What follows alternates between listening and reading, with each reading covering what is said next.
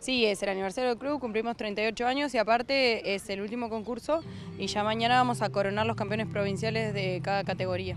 ¿Cuántos participan en esta última fecha? Y en un principio cuando empezó la mañana eran 146, pero hay más porque se fueron anotando a lo largo del día más jinetes y amazonas en, en las distintas pruebas, así que hay más. Trabajamos mucho todo el año y se notan, creo que se notan los cambios que hay en el club, la verdad que estamos metiéndole a full, eh, pero bueno, teníamos un poco de ganas ya de que se termine porque estamos bastante cansados. Y nada, vamos a seguir trabajando en el verano para probablemente arranquemos nosotros el año que viene. El club, nuestro club por lo general organiza el último y el primero en marzo.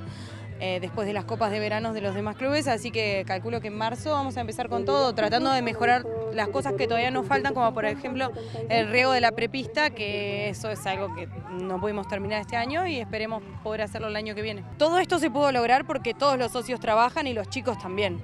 Y con respecto a los clubes vecinos, a, todos los clubes de la zona, la verdad que siempre recibimos comentarios re lindos y nos ayudan un montón. Eh, ellos están muy contentos también con nuestro progreso.